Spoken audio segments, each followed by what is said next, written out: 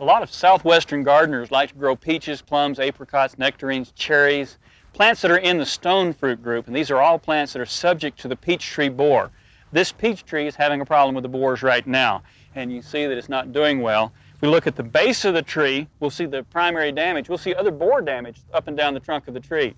But right here at the base of the tree, we see the real problem. When the borer has attacked the tree, it'll produce a jelly-like sap indicating that there's borer activity here.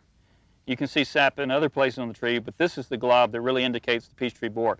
Even when you don't find the borer in the jelly-like sap, you know there's a problem here. So you're going to need to do something to control the problem.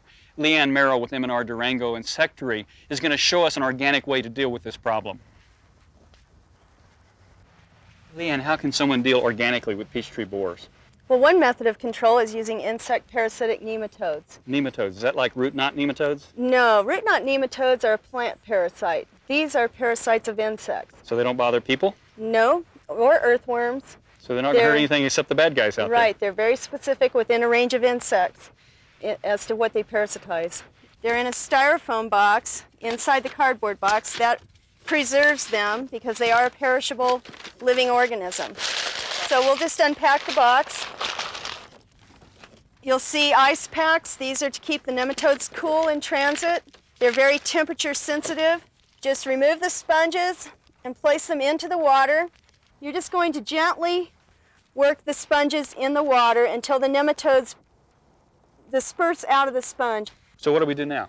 Okay, after you receive them and you know they're cold, um, you can just leave them out at room temperature. I always leave them face down so the moisture is next to the nematodes mm -hmm. for about 15 minutes until they begin to warm up.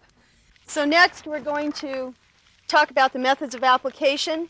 You can either apply with a hand watering can. That's you simple. just stir up the nematodes to make sure they're well dispersed and pour them around the base of the tree.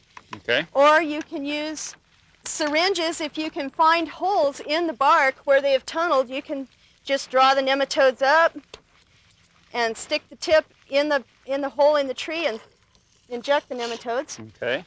Or you can use a backpack sprayer, a handheld backpack sprayer. These nematodes can withstand up to 300 psi. Wow. Most of these operate at about 10 to 15.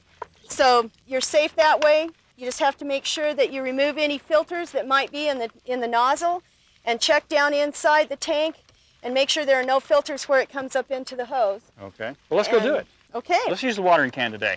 All right. This peach tree is having some problems with borers. Yeah, I can see that.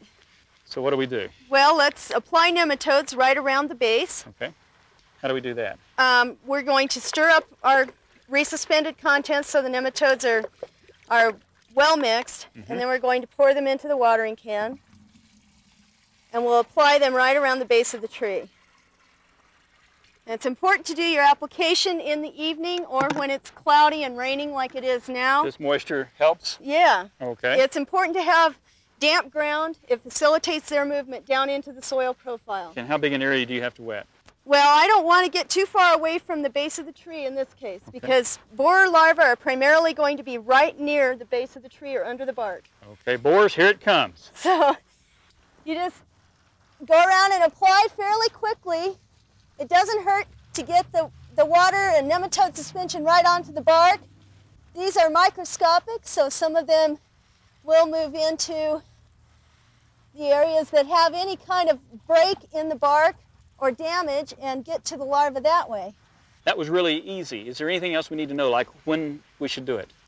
Yes, it's important to apply the nematodes in the evening or on a cool, cloudy, rainy day, they're susceptible to UV rays, so you don't want to apply them during the heat of the day. Mm -hmm. If they dry out, they die. How about temperature? Uh, temperature is very important. Soil temperature is the most important. These grubs are going to be at about a one inch depth, and the nematodes need to be in soil temperatures of at least 50 degrees or warmer, and preferably under 85. Okay, so if people want to know more about this, so you have a website they can check. Yes, it's www.goodbug.com. Okay, thank you, Lee Anne. You're welcome.